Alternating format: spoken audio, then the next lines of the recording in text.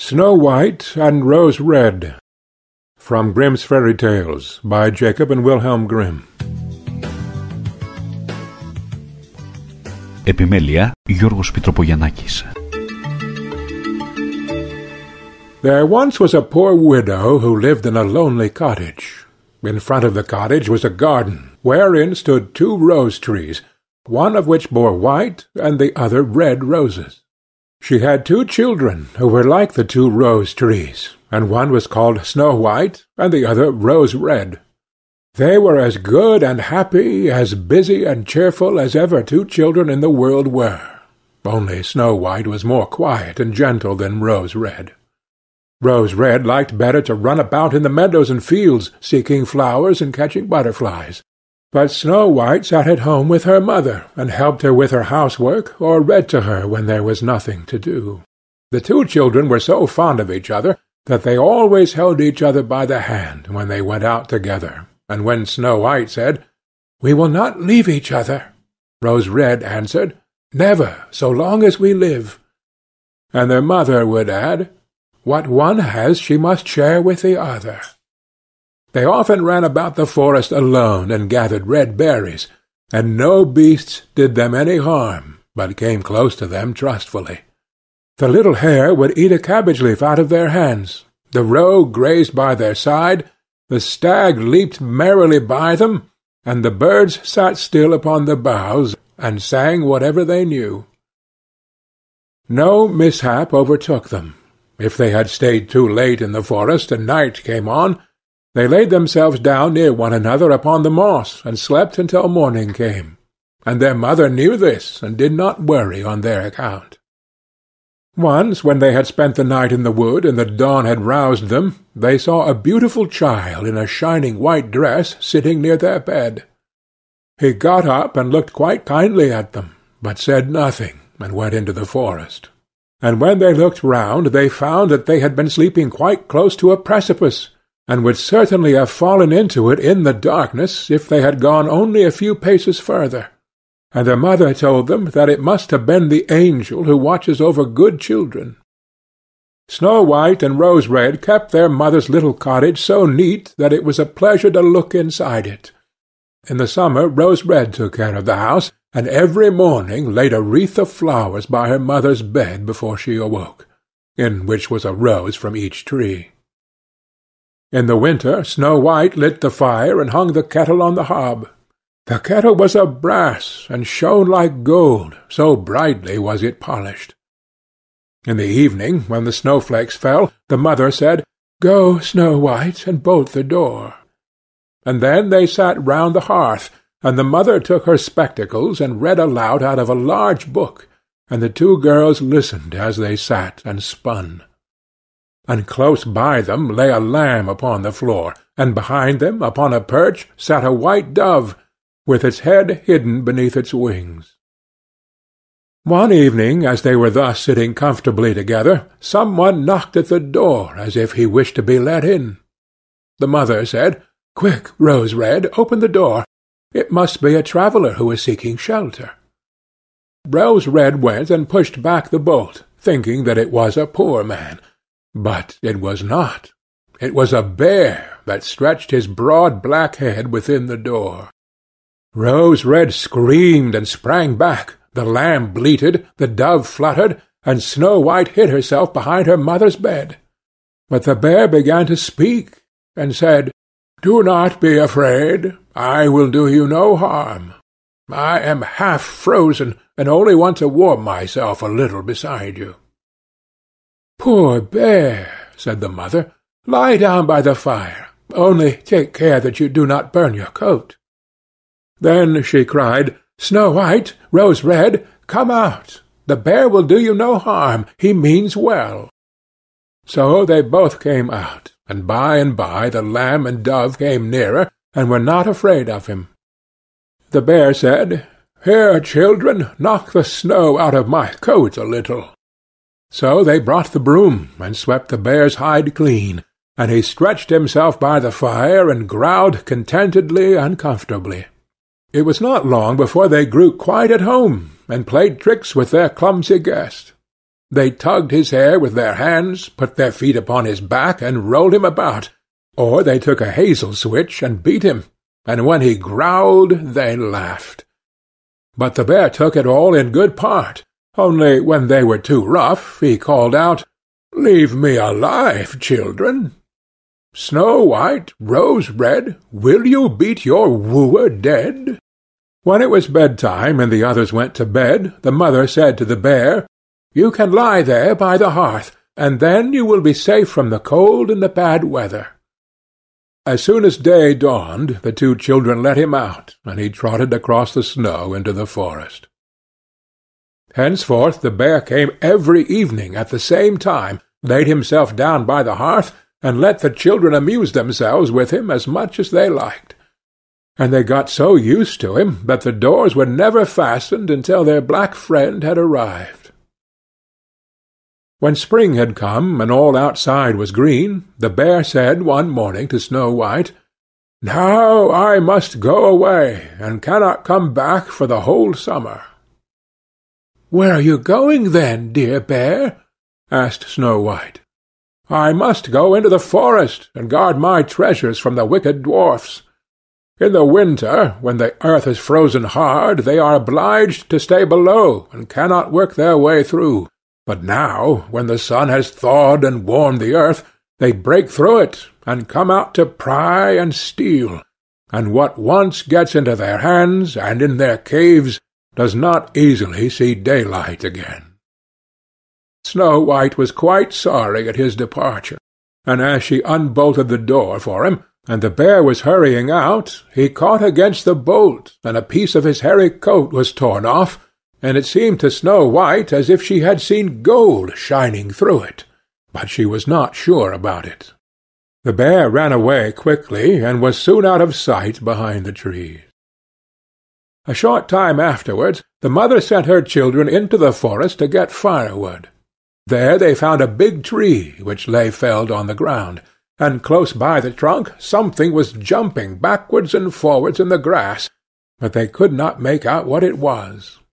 When they came nearer, they saw a dwarf with an old withered face and a snow-white beard a yard long.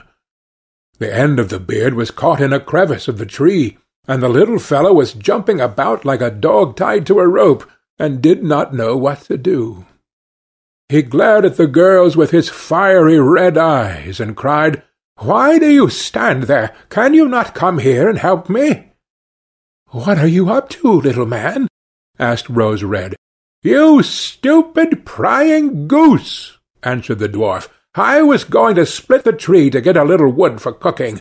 The little bit of food that we people get is immediately burnt up with heavy logs. We do not swallow so much as you coarse, greedy folk. I had just driven the wedge safely in, and everything was going as I wished, but the cursed wedge was too smooth, and suddenly sprang out, and the tree closed so quickly that I could not pull out my beautiful white beard. So now it is tight, and I cannot get away, and the silly, sleek, milk-faced things laugh. Ah, how odious you are! The children tried very hard, but they could not pull the beard out. It was caught too fast. I will run and fetch some one, said Rose Red. You senseless goose, snarled the dwarf. Why should you fetch some one? You are already too, too many for me. Can you not think of something better? Don't be impatient, said Snow White. I will help you. And she pulled her scissors out of her pocket and cut off the end of the beard. As soon as the dwarf felt himself free, he laid hold of a bag which lay amongst the roots of the tree, and which was full of gold, and lifted it up, grumbling to himself, Uncouth people, to cut off a piece of my fine beard!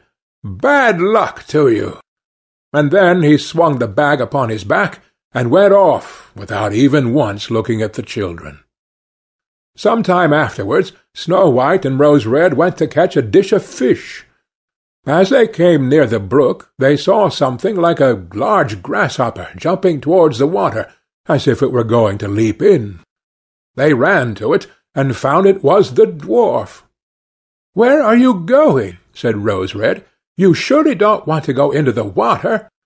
I am not such a fool, cried the dwarf. Don't you see that the accursed fish wants to pull me in? The little man had been sitting there fishing, and unluckily the wind had tangled up his beard with the fishing line. A moment later a big fish made a bite, and the feeble creature had not strength to pull it out. The fish kept the upper hand and pulled the dwarf towards him.